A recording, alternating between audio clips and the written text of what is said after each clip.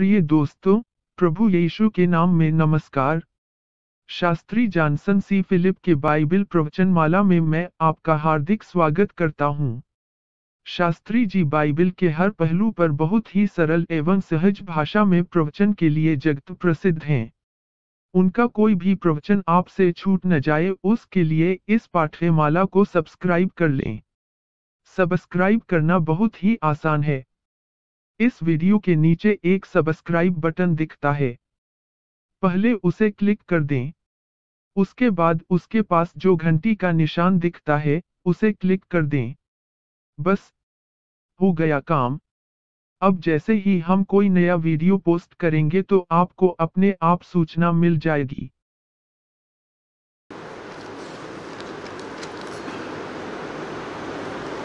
पिछले कई महीनों प्रभु के वचन से रोमियो नामक पुस्तक का हमने अध्ययन किया। और जैसा कई भाइयों ने मुझे बताया, यह अध्ययन उन सबको या उन सब के लिए बहुत अधिक अनुग्रह का कारण बना, क्योंकि प्रभु के वचन से बहुत सारी बातें सीखने का मौका मिला।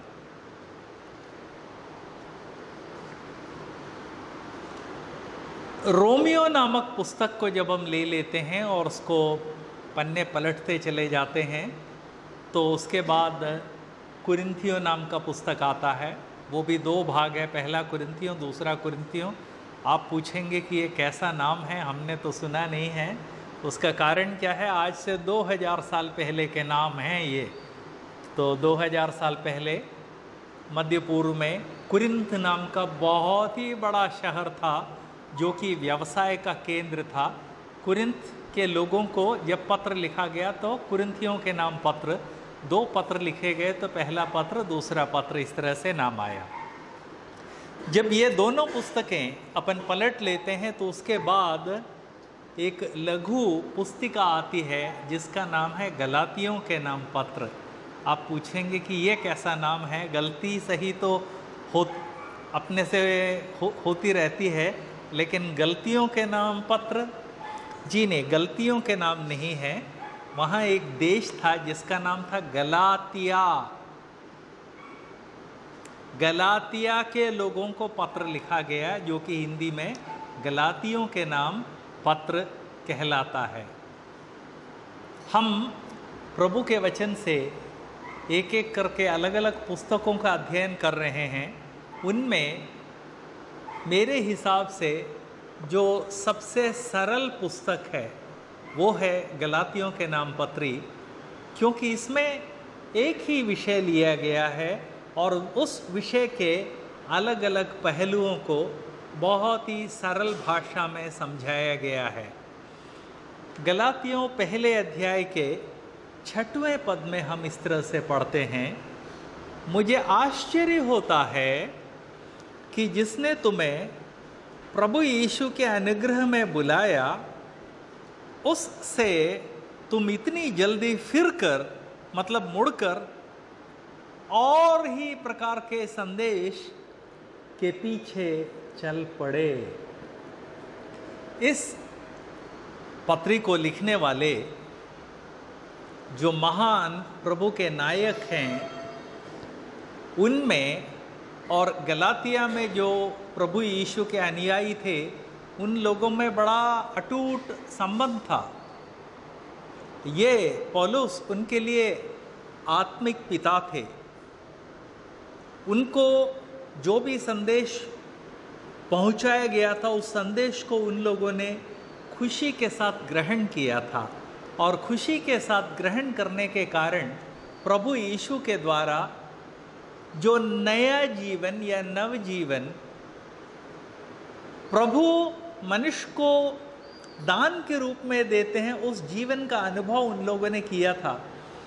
उन लोगों ने देखा था कि पाप से भरे हुए, अंधकार से भरे हुए इस संसार में जब हम चलते फिरते हैं तब किस तरह से प्रभु का वचन हमको एक नया जीवन देता है एक नई आशा देता है। और जब इस तरह से कोई नई चीज़ मिल जाती है तो हम सब कितने खुशी के साथ उस नई चीज़ को देखते हैं, उसको चाहते हैं, उसका उपयोग करना चाहते हैं। हम सब जानते हैं। मान लीजिए आपने नई साइकिल कसवाई है तो घर ले जाके उसको सबसे सुरक्षित जगह पर रखते हैं, जिससे कि उसके ऊपर खरोंच वगैरह ना आए, बच्चे उसको ना गिरा दें। उससे बड़ी चीज़ यदि आपने खरीदी हो तो आप और ज़्यादा ध्यान देते हैं।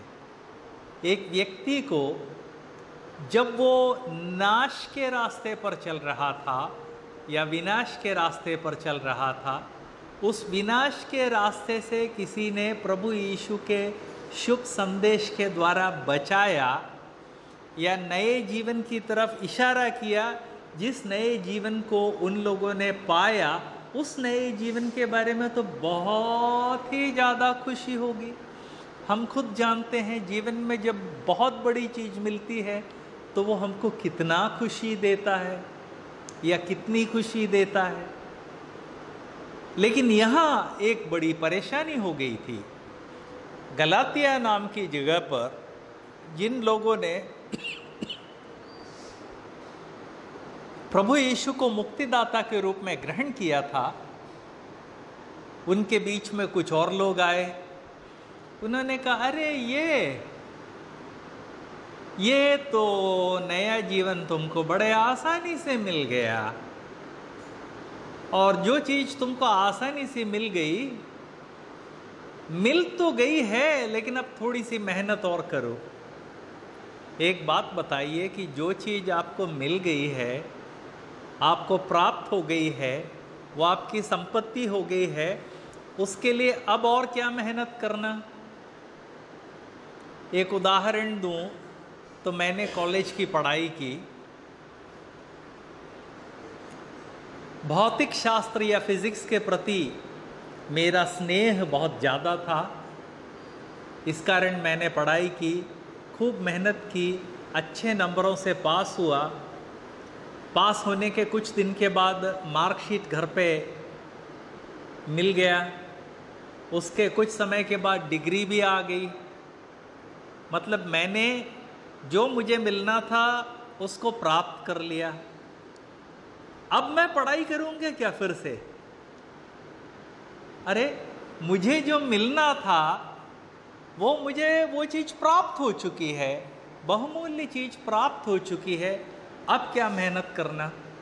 मान लीजिए कल को मेरे मास साहब आते हैं, वो कहते हैं कि, अरे, डिग्री पास कर ली, पढ़ाई क्यों बंद करती? लाओ वो फिज़िक्स वगैरह की किताबें लाओ, बैठो और फिर से पढ़ाई करो। हम में से ऐसा कोई व्यक्ति है क्या जो इतना मूर्ख होगा कि आपने पढ़ भी लिया, परीक्षा भी दे दी, मार्क्स पास भी हो गए, मार्कशीट भी मिल गई, डिग्री भी मिल गई और आप फिर से वही डिग्री पढ़ने की कोशिश कर रहे हैं कि मुझे डिग्री मिल जाए, मुझे डिग्री मिल जाए, मुझे डिग्री मिल जाए। अरे, डिग्री आपको मिल चुकी है। डाक से आपके घर आ चुकी है और आपने शायद उसको फ्रेम करके घर पे टंगवा भी दिया होगा। तो अब कहे के लिए फिर से उस डिग्री के लिए मेहनत करनी है? लेकिन गलतिया नाम की जगह पर एक परेशानी हो गई। प्रभु यीशु का शुभ संदेश उनके बीच में सुनाया गया। और प्रभु का वचन ये कहता है कि प्रभु का संदेश जब सुनाया गया तो ये बात उनको बिल्कुल प्रमाणित हो गई कि वाकई में ये प्रभु का नया जीवन देने वाला संदेश है और इस तरह से, अच्छी तरह से सुन के, समझ के, देख के उन लोगों ने प्रभु को मुक्तिदाता के रूप में ग्रहण किया था। और ग्रहण करते ही उनको प्रभु ने नए जीवन गिफ्ट के रूप में या वरदान के रूप में दिया। और उस नए जीवन के अनुसार वो लोग चाल चलन चल चल रहे थे। तब कुछ लोगों ने आके उनसे बोला कि नहीं नहीं नहीं, इतना पर्याप्त नहीं है। अभी और मेहनत की ज़रूरत है। यदि जो विद्यार्थी जिसने कॉलेज में डिग्री पास कर ली है, जिसको मार्कशीट मिल गई है, जिसको डिग्री मिल गई है उससे आकर यदि कोई कहे कि नहीं, इतना पर्याप्त नहीं है, अभी तो डिग्री के लिए और मेहनत करो, कोई नहीं करेगा। लेकिन गलतिया के लोग, जिनको प्रभु यीशु के द्वारा नया जीवन मिल चुका था, जब उन लोगों से दूसरों ने आकर कहा कि, अरे, अभी तो मेहनत की ज़रूरत है तो वो लोग उसमें फंस गए। क्या बात है? आँखों के देखते हुए आँखों के होते हुए कोई व्यक्ति कहीं से कहीं जा रहा है, आँख नीच के चलता है क्या? जरा बताइए, आप सड़क पर चलते हैं, आँख बंद करके चलते हैं या आँख खोल के चलते हैं? आप गाड़ी चलाते हैं, आँख नीच के गाड़ी चलाते हैं या आँख खोल के चलाते हैं? हम में से हर कोई आँख खोल कर चलाता है। वो प्रभु की ओर से हमको मिला हुआ गिफ्ट है या वरदान है। लेकिन इन लोगों को प्रभु यीशु पर विश्वास के द्वारा जो नया जीवन प्राप्त हुआ था, वो प्राप्त होने के बाद जब उनको ये बात कंफर्म हो गई, जब उनको इस बात का निश्चय हो गया कि वो नया जीवन हमको मिल गया है, उसके बाद किसी ने आके बोल दिया कि अभी तो और मेहनत की ज़रूरत है तो करने लगे मेहनत। वो करो, ये करो, ये छोड़ो, वो छोड़ो वो छोड़ो और ऐसा करो। ऐसा कोई करता नहीं है। जिसको मिल चुका है, जिसको मालूम है कि मुझे मिल चुका है, उसको परेशान होने की ज़रूरत नहीं है। लेकिन यहाँ यही परेशानी हुई कि जब गलतिया नाम के जगह पर लोगों को आके बोला, नहीं नहीं, ऐसे थोड़ी मुक्ति मिल सकती है। तुमको तो उसके लिए ऐसा भी करना पड़ेगा, ऐसा भी करना पड़ेगा। वो लोग फंस गए उसमें। देखिए, प्रभु का वचन बहुत ही स्पष्टतया बताता है कि मनुष्य पापी है। रोमियो नामक पुस्तक के तीसरे अध्याय के तेईसवें पद में साफ़ साफ़ लिखा है कि सबने पाप किया है। उसी पुस्तक के छठे अध्याय के तेईसवें पद में लिखा है कि पाप की सजा है मृत्यु। लेकिन यूहन्ना नामक पुस्तक के तीसरे अध्याय के सोलहवें पद में हम पढ़ते हैं कि प्रभु ने अपने एक लौते पुत्र को इस संसार के लिए दिया, जिससे कि जो कोई भी प्रभु पर विश्वास करे, वो नाश ना हो। मनुष्य पापी है, पाप की सजा मृत्यु है, लेकिन प्रभु का वचन साफ़ साफ़ कहता है कि जो भी प्रभु यीशु पर विश्वास करता है, वो नाश नहीं होगा, बल्कि शाश्वत जीवन पाएगा। शाश्वत का मतलब क्या है? जो कभी समाप्त नहीं होगा। तो जिसने प्रभु को मुक्तिदाता के रूप में ग्रहण कर लिया, उसको शाश्वत जीवन मिल चुका है। जीवन की प्राप्ति हो चुकी है। तब यदि कोई व्यक्ति आकर उसको गलत बोले कि नहीं नहीं, अभी तो ऐसा भी करना पड़ेगा, वैसा भी करना पड़ेगा तो उस भूल भुलैये में हमको भटकना नहीं चाहिए। ये प्रभु का वचन स्पष्टतया बताता है। लेकिन गलतिया में क्या हुआ? लोगों ने आके कहा, नहीं नहीं नहीं, अभी तुमको शाश्वत जीवन मिल गया होगा, लेकिन अभी शाश्वत जीवन के लिए और मेहनत करनी है। वो लोग उस रास्ते पर चल दिए। कारण क्या है? इसके दो कारण हैं। पहली बात, लोगों ने आकर ऐसा क्यों बोला? दूसरी बात, लोगों ने बोला, ये तो सही है, लेकिन जो सच्चाई को प्राप्त कर चुका है, वो क्यों उस गलती के पीछे चला? ये दो प्रश्न हैं, जो दोनों मैं आपको याद दिलाना चाहता हूँ। पहली बात, मनुष्य जब भी सही रास्ते पर चलता है, तब उसको सही रास्ते से हटाकर गलत रास्ते पर उसको चलाने की कोशिश, मनुष्य की सृष्टि के आरंभ से ये कोशिश हो रही है। आपको याद है, प्रभु ने मनुष्य को रचने के बाद, मनुष्य की सृष्टि करने के बाद, उनको एक बहुत ही सुंदर बगिया में रखा था। बहुत ही बहुत ही सुंदर बगीचे में रखा था, जिसमें दुनिया के सबसे अच्छे फूल और दुनिया के सबसे अच्छे फल थे। और प्रभु ने कहा कि हाँ जो कुछ है, ये तुम्हारे लिए है। इसका भोग लगाओ, आराम से इसको खाओ। हाँ ये जो हज़ारों प्रकार के फल है, उसके बीच में एक फल है जिसको तुम हाथ मत लगाना। कारण कुछ प्रभु ने नहीं बताया। हाथ मत लगाना। जिस दिन तुम उसको हाथ मत लगाने से मेरा मतलब ये नहीं है कि जाके हाथ मत लगाना, प्रभु के कहने का मतलब यह था कि उसको खाना मत। जब हज़ारों प्रकार के एक से एक मधुर फल बिना मेहनत के वहाँ उग रहे हों और खाने के लिए आपको मिल रहे हों तो 24 घंटे में आपको क्या चाहिए? लेकिन जिस फल को प्रभु ने वर्जित किया था, उसी फल को उन्होंने खाया। क्यों? प्रभु का विरोधी, शैतान, सांप के शरीर में आकर मनुष्य को उसने बहकाया। मनुष्य से बोला, अरे, ये सब तो खाने के लिए दिया है, ये इसको भी खाओ। खाने से तुमको ज्ञान मिलेगा। गलती करने से किसी को ज्ञान मिलता है क्या? गलती करने से किसी को ज्ञान मिलता है क्या? मिलता है। गलती करने से ज्ञान मिलता है। जब आप, मान लीजिए आपकी वाइफ या आपकी बहन गर्मा गर्म पतीला उसने, मान लीजिए चूल्हे से हटाकर नीचे रखा और आपसे कहा, माँ ने कहा, बेटे, उसको हाथ मत लगाना, जल जाओगे। बहन ने कहा, भैया, उसको हाथ मत लगाना, गर्म है, जल जाओगे। आप जो है दौड़ के जाके उसको पकड़ लेते हैं। आपको ज्ञान मिला या नहीं मिला? आपको ज्ञान मिला। ऐसा ज्ञान मिला कि अब तो गर्म है या ठंडा, आप उससे दूर ही रहेंगे। लेकिन वो ऐसा ज्ञान है क्या जिसे आप प्राप्त करना चाहते थे? नहीं। कौन है जो जल के ज्ञान प्राप्त करना चाहता है? तो जब शैतान ने जाकर कहा कि इसको खाओ खाओ, इससे तुमको बहुत ज्ञान मिलेगा तो मनुष्य को वो फल खाना नहीं चाहिए था, लेकिन वर्जित फल मनुष्य ने खाया, और खाने का फल क्या हुआ? वो पापी हो गया। पाप का स्वभाव पीढ़ी दर पीढ़ी वो दूसरों को देने लगा। अब जानबूझकर नहीं, अपने आप जैसे जैसे पीढ़ी दर पीढ़ी पैदा होती चली जाती है, हर पीढ़ी में लोग पापी हो रहे हैं। इसीलिए तो रोमियो तीन तेईस में लिखा हुआ है सबने पाप किया है। रोमियो सातवें अध्याय में लिखा हुआ है, जो काम मैं करना नहीं चाहता, वही करता हूँ। और जो मैं करता हूँ, वो मुझे पसंद नहीं है। प्रभु का वचन साफ़ साफ़ बताता है, जब से मनुष्य की सृष्टि हुई है, तब से मनुष्य को गलत रास्ते पर चलाने के लिए लगातार कोशिश हो रही है।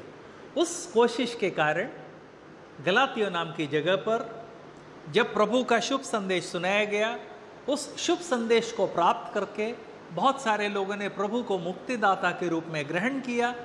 लेकिन ग्रहण करने के बाद गलत संदेश जाके उन लोगों को बताया और गलत संदेश जब हम सुनते हैं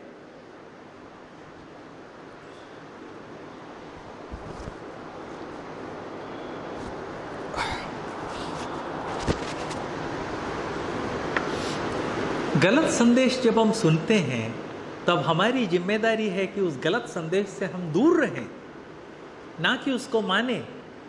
लेकिन गलतिया के कुछ लोग, उनको लगा कि अच्छा तो हमको मिल गया है, जरा जो गलत बातें हैं उसको भी अपन प्रयोग करके देखते हैं। प्रभु का वचन क्या कहता है? प्रभु का वचन कहता है, वह दूसरा संदेश वो तो है ही नहीं। जो असल है, वो मैंने तुमको सुनाया। असली संदेश क्या था? प्रभु यीशु पर विश्वास करो, तुम नया जीवन पाओगे, तुम शाश्वत जीवन पाओगे। इसके अलावा और कोई संदेश नहीं है। किसी और ने आके कहा कि, अरे, विश्वास से क्या होता है? तुमको ये भी करना होगा, ये भी करना होगा। प्रभु का वचन कहता है, नहीं, मनुष्य अपने पापों से किस तरह से मुक्ति पा सकता है, इसके लिए सिर्फ़ एक संदेश है। और वो संदेश ये है, प्रभु ने आपके लिए और मेरे लिए अपना जीवन बलिदान किया, और चूँकि प्रभु ने मेरे और आपके पापों के लिए अपना जीवन बलिदान किया, इस कारण मेरी और आपकी ज़िम्मेदारी है कि हम प्रभु को मुक्तिदाता के रूप में माने। सिर्फ़ एक ये संदेश है। बाकी कोई भी संदेश प्रभु की ओर से नहीं है। यह है जो यहाँ प्रभु का वचन कहता है। दसवें पद में हम पढ़ते हैं, मैं क्या मनुष्यों को मनाता हूँ या प्रभु को? इसका क्या मतलब है?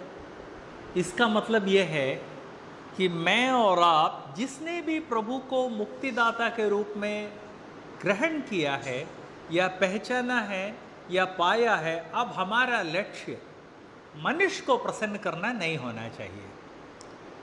कल को कोई आके भाई कहता है कि तुमने मुक्ति पा ली। अरे, क्या मुक्ति है? मेरे साथ आओ, ऐसा ऐसा भी करो। नहीं, प्रभु का वचन साफ़ साफ़ बताता है, प्रभु ने हमको मुक्ति दी, प्रभु ने हमको नया जीवन दिया। अब हमारी ज़िम्मेदारी यह है कि हम सिर्फ़ प्रभु को खुश करने के लिए सब कुछ करें। और यदि प्रभु को खुश करने के लिए सब कुछ करना है तो उसका तरीका क्या है? जो कुछ करना है, सब प्रभु ने अपने वचन में दिया है। इसलिए प्रभु के वचन को पढ़े, प्रभु के वचन को देखें। ये जाने कि प्रभु का वचन किस विषय के बारे में क्या कहता है।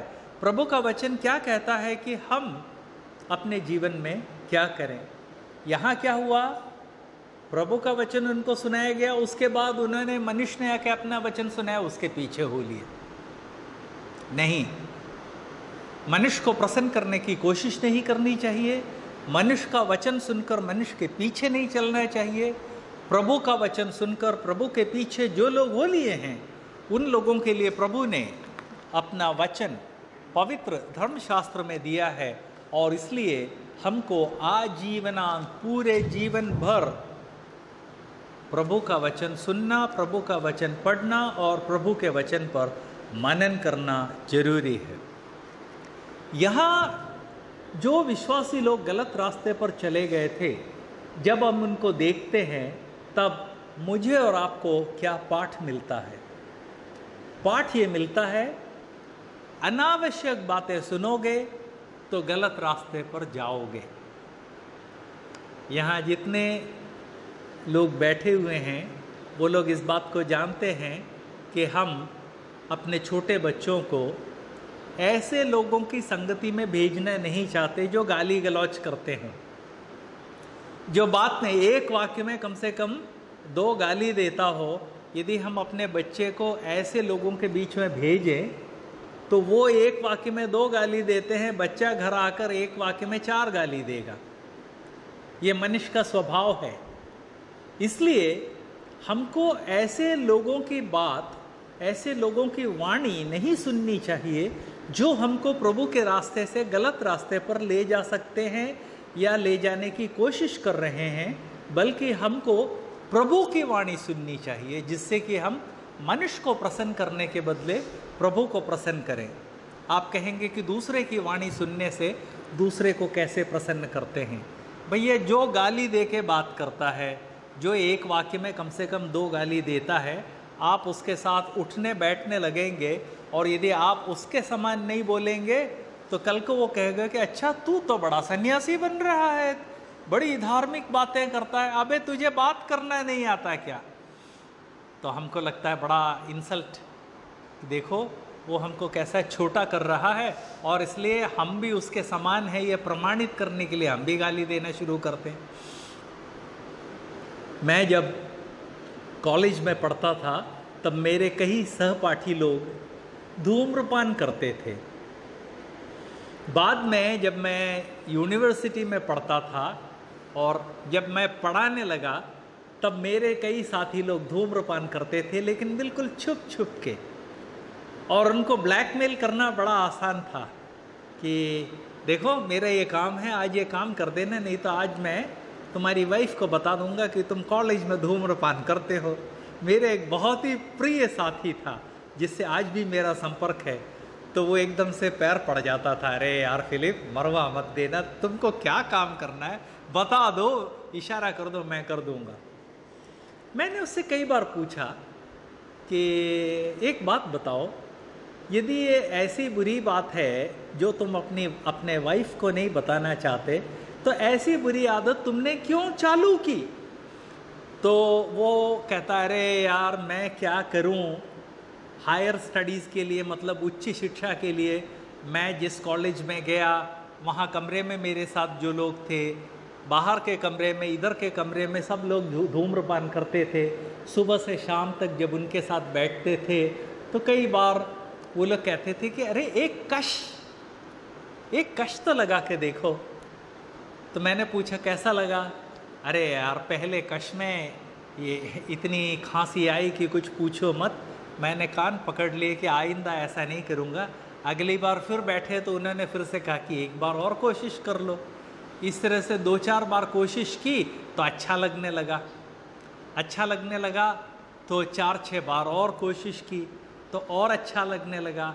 उसके बाद खुद खरीद के धूम्रपान करने लगे। इस तरह से हम आदि हो गए। देखिए, आदमी जो नहीं करना चाहता और जिस बात के बारे में वो जानता है कि ये मुझे नहीं करना है, और जिस बात के बारे में ये जानता है कि मैं फलाना काम करूँगा तो मेरा जीवन बर्बाद हो जाएगा, इन सब के बावजूद उन बातों में फंस जाता है। यदि वो इस प्रकार के यार दोस्तों के बीच में बैठता है, जो वो काम करते हैं जो कि गलत है, जो ऐसी बातें बोलते हैं जो गलत है, जो हमको बोलनी नहीं चाहिए, जिनकी भाषा में इस तरह के शब्द आते हैं जो जिसका उच्चारण हमको नहीं करना चाहिए। आत्मिक जीवन भी ऐसा ही है। आत्मिक जीवन में यदि हम ऐसे लोगों के साथ उठना बैठना शुरू करेंगे, जो ऐसी बातें बोलते हैं जो हमारे लिए उचित नहीं है तो देर सब हम उसमें फंस जाएँगे। ये जानते हुए कि ये गलत है, हम उनकी फिलॉसफी में फंस जाएँगे। इसलिए प्रभु के वचन में लिखा है कि मैं मनुष्य को प्रसन्न करने की कोशिश नहीं कर रहा हूँ, मैं प्रभु को प्रसन्न करने की कोशिश कर रहा हूँ। जब आप चार दोस्तों के साथ बैठेंगे जो गलत काम करते हैं तो जब तक आप गलत काम नहीं करेंगे, तब तक वो लोग प्रसन्न नहीं होंगे।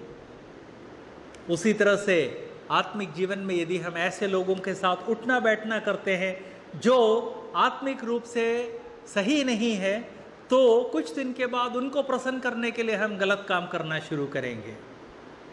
प्रभु का वचन याद दिलाता है, मैं मनुष्यों को प्रसन्न नहीं करता, मैं प्रभु को प्रसन्न करता हूँ। उसके लिए क्या करना चाहिए? प्रभु को प्रसन्न करना है तो प्रभु की वाणी सुननी है, और प्रभु की वाणी भी नियमित रूप से सुननी है। प्रभु की वाणी नियमित रूप से कैसे सुनेंगे? प्रभु के वचन के द्वारा। प्रभु का वचन कहाँ है? प्रभु ने अपना वचन इतने भारी ग्रंथ के रूप में हमको दिया है। इसमें हर व्यक्ति के लिए प्रभु का वचन है। आप ज़्यादा पढ़े लिखे ना हो तो भी कोई फ़र्क नहीं पड़ता। प्रभु ने अपना वचन इस तरह से लिखा और लिखवाया है, जिसको हर व्यक्ति समझ सकता है। आप कहेंगे, मेरी भाषा में नहीं है। कैसी बात करते हैं? हिंदुस्तान की सभी मुख्य भाषाओं में ये महान ग्रंथ उपलब्ध है। ये बात मैं याद दिलाना चाहता हूँ। मैं अपने लेफ़्ट की तरफ़ देख रहा था। यहाँ कम से कम चार भाषाओं में यह ग्रंथ रखा हुआ है। चार से ज़्यादा है। आज जिसने भी उठा के रखा, उसने कम से कम चार भाषा में यहाँ रखा है। और भी भाषाएँ हैं। भारत की सभी मुख्य भाषाओं में प्रभु का वचन उपलब्ध है। इतना ही नहीं, प्रभु के वचन का उत्तरार्ध जो सेकेंड हाफ़ है, जो नया नियम कहलाता है, ये और भी ज़्यादा भाषाओं में उपलब्ध है। इसलिए ऐसा कोई व्यक्ति ना सोचे, ऐसा कोई व्यक्ति ना कहे कि मैं तो पढ़ नहीं पाता, इसलिए कि मेरी भाषा में उपलब्ध नहीं है। आप हमको बताइए कि आपकी भाषा क्या है किन किन भाषाओं को आप समझते हैं, और उस भाषा में हम प्रभु का वचन आपको प्रदान करेंगे। क्योंकि प्रभु की इच्छा है कि आप नियमित रूप से प्रभु के वचन पर ध्यान करें। बाइबल के बीचों बीच एक पुस्तक है जिसका नाम है भजन। क्योंकि ये सब जिस तरह से अपन गाना गाते हैं, इस तरह के गीत हैं, जिसको प्रभु ने वहाँ इसलिए रखा है कि हम उसको पढ़ें और ध्यान करें। भजन, पहला ही भजन जब अपन ले लेते हैं तो पहले भजन में लिखा हुआ है कि क्या ही धन्य है, कितना धन्य है वो व्यक्ति जो दुष्टों के तौर तरीके पर नहीं चलता है। हम सब कहेंगे बिल्कुल सही है। जो पापियों के रास्ते पर नहीं खड़ा होता है, पापियों के रास्ते पर खड़े होने का मतलब क्या है? ऐसी संगति में जहाँ हर कोई गलत काम करने की सोच रहा है। ना ही उपहास करने वालों के कुर्सी पर बैठता है। उपहास करने वाले मतलब ये कौन है? जो प्रभु के वचन का मज़ाक उड़ाते हैं, जो हर आत्मिक बात का मज़ाक उड़ाते हैं, उनके बीच में जाकर आप बैठेंगे तो चार बार बैठेंगे तो जैसा वो बोलते हैं, वैसा ही आप बोलने लगेंगे। आगे लिखा हुआ है, बल्कि वो व्यक्ति रात दिन प्रभु के वचन पर मनन करता है। वो प्रभु के वचन से प्रसन्न रहता है, प्रभु के वचन पर रात दिन मनन करता है। तो यदि हम चाहते हैं कि सही रास्ते पर ही चलें, यदि हम चाहते हैं कि गलत रास्तों से हम दूर रहें, यदि हम चाहते हैं कि गलत रास्तों को हम पहचान सकें जिससे कि हम गलत रास्तों से दूर रहें तो प्रभु का वचन याद दिलाता है कि प्रभु के वचन को रात दिन हम मनन करें। आप कहेंगे, शास्त्री सर, रात दिन तो पचासों काम करने पड़ते हैं, नौकरी भी करनी पड़ती है, रात दिन कैसे मनन कर सकते हैं? उसका भी तरीका है। जब जब आपको फ्री टाइम मिलता है, प्रभु के वचन को पढ़िए, धीरे धीरे प्रभु का वचन आपको याद होने लगेगा। अभी आज ही मैंने आपके सामने कम से कम चार पाँच प्रभु के वचन के पद याददाश्त से सुनाए। रोमियो तीन तेईस, सबने पाप किया है और प्रभु की महिमा से रहित है। रोमियो छः तेईस, पाप की सजा है मृत्यु। लेकिन प्रभु यीशु का वरदान है अनंत जीवन। यूहन्ना तीन सोलह, क्योंकि प्रभु ने संसार से इतना प्रेम किया कि उन्होंने अपना एक लौता पुत्र दे दिया, ताकि जो कोई उस पुत्र पर विश्वास करे, वो नाश न हो, परंतु शाश्वत जीवन पाए। उत्पत्ति एक एक आदि में प्रभु ने आकाश और पृथ्वी की सृष्टि की। दूसरा पद, पृथ्वी, बेडौल और सुनसान थी। परमेश्वर का आत्मा अंधियारे के ऊपर मंडराता था। इस तरह जब आप प्रभु के वचन को पढ़ेंगे बार बार पढ़ेंगे तो उसमें से जो इस तरह के महत्वपूर्ण भाग है, वो आपको याद रहने लगेंगे। और जब याद रहने लगेंगे तो जब भी आप जहाँ भी हों, ये बातें धीरे धीरे धीरे आपके मन में आने लगेंगी। इसलिए मैंने आपको बोला इसलिए मैंने आपसे कहा कि रात दिन प्रभु के वचन का ध्यान और मनन करें। इसके पहले भी ये बात मैंने आपको बताई थी। कई बार ऐसा होता है कि कोई गाना हमारे मन को ऐसा स्पर्श कर जाता है। हमारे, हमारी भावनाओं को इस तरह से स्पर्श कर जाता है कि सुबह उठने से लेकर शाम तक जाने अनजाने उसी गाने को हम गुनगुनाते रहते हैं। यह अनुभव कभी हुआ है क्या? सबको हुआ है। ऐसा कई बार होता है कि हम जानबूझकर नहीं गा रहे, लेकिन वो गाना हमारे ओठों पर बार बार आ रहा है, हमारे मन में आ रहा है। क्यों? इसलिए कि वो गाना आपके मन में है, आपकी याददाश्त में है। इसी तरह से जब मैं और आप प्रभु के वचन को सुबह रात फुर्सत में जब उस वचन को पढ़ेंगे बार बार पढ़ेंगे तो प्रभु का वचन हमारे मन में बसने लगेगा। और जब हमारे मन में बसने लगेगा तो धीरे धीरे प्रभु का वचन हमको याद आएगा। जब भी हम किसी परिस्थिति का सामना करेंगे तो उस हिसाब से प्रभु का वचन हमारे सामने आएगा।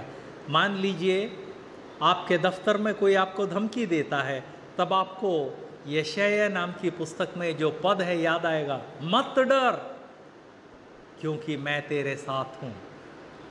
जब आपको लगता है कि बहुत ही कठिन कोई कार्य है, पता नहीं मैं कैसे कार्य करूँ? तो प्रभु के महान दास मूसा को प्रभु ने जो वचन दिया था, शांत रहो, युद्ध मेरा है, मैं तुमको जो छुटकारा दूँगा, उसको देखो। इस तरह से जब हम प्रभु के वचन को दिन रात पाठ करते हैं तो प्रभु का वचन हमारे मन में बस जाता है और अवसर के अनुसार जैसी ज़रूरत होती है प्रभु का वचन हमको याद आता है और जब याद आता है तो प्रभु का वचन हमको प्रोत्साहित करता है। जिस तरह से वो गाना जो हमारी जीप पर सुबह से शाम तक बिना हमारे चाहे ही आता है, उस तरह से प्रभु का वचन आएगा। तो आज जो बात मैंने आप सबके सामने रखी थी, वो बात मैं दोबारा याद दिलाना चाहता हूँ और वो बात यह है कि प्रभु के महान दासों के द्वारा प्रभु का शुभ संदेश गलातिया नाम की जगह पर लोगों के बीच पहुँचा। उन लोगों ने इस बात को पहचाना कि हम सब पापी हैं।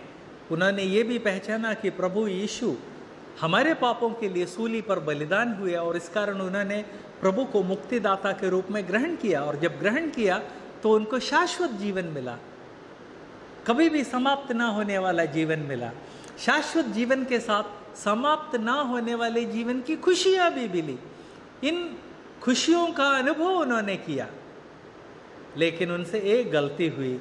प्रभु के वचन पर रात दिन ध्यान करने के बदले उन्होंने ऐसे लोगों के वचन पर ध्यान दिया जो लोगों को प्रभु के वचन के बदले गलत रास्ते पर ले जाना चाहते थे और इस तरह से वो गलत रास्ते की ओर झुक गए।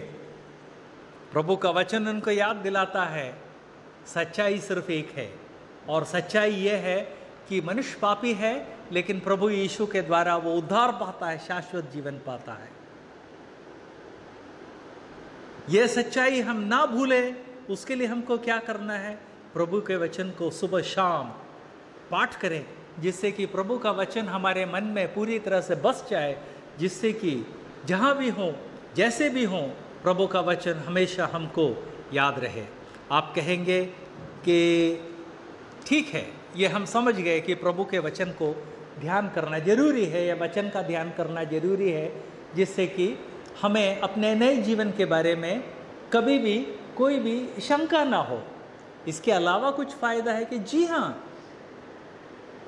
प्रभु के वचन को जब हम नियमित रूप से पढ़ते हैं, उसको ध्यान करते हैं, उसका ध्यान करते हैं, तब प्रभु का वचन हमको सही रास्ता भी बताता है, सही रास्ते पर चलना बताता है। और जब हमारे सामने इस रास्ते पर जाना है, इस रास्ते पर जाना है। तो प्रभु का वचन एकदम से हमको याद दिलाता है, मेरे बच्चे, सही रास्ते पर जाओ। तो जब हम प्रभु के वचन का ध्यान करते हैं तो हमारे हमारे आत्मिक जीवन को दिशा देता है, आत्मिक जीवन को स्वास्थ्य देता है, आत्मिक जीवन को चंगाई देता है। इन बातों को समझने के लिए प्रभु हम सबकी मदद करे। आज इस तरह से प्रभु ने हम सबको जो मौका दिया है, उसके लिए मैं प्रभु का शुक्रगुजार हूँ। प्रभु आप सबकी मदद करे। जय मसीह की। प्रिय दोस्तों, मुझे पूरा यकीन है कि शास्त्री जॉनसन सी फिलिप के आज के इस बाइबल प्रवचन द्वारा आपको बहुत अधिक अनुग्रह मिला होगा। शास्त्री जी बाइबल के हर पहलू पर बहुत ही सरल एवं सहज भाषा में प्रवचन के लिए जगत प्रसिद्ध हैं। उनका कोई भी प्रवचन आपसे छूट न जाए, उसके लिए इस पाठ्यमाला को सब्सक्राइब कर लें। सब्सक्राइब करना बहुत ही आसान है। इस वीडियो के नीचे एक सब्सक्राइब बटन दिखता है। पहले उसे क्लिक कर दें। उसके बाद उसके पास जो घंटी का निशान दिखता है उसे क्लिक कर दें। बस, हो गया काम। अब जैसे ही हम कोई नया वीडियो पोस्ट करेंगे तो आपको अपने आप सूचना मिल जाएगी। इतना ही नहीं, हर नया सब्सक्राइबर हमको बहुत अधिक प्रोत्साहन देता है। जय मसीह की।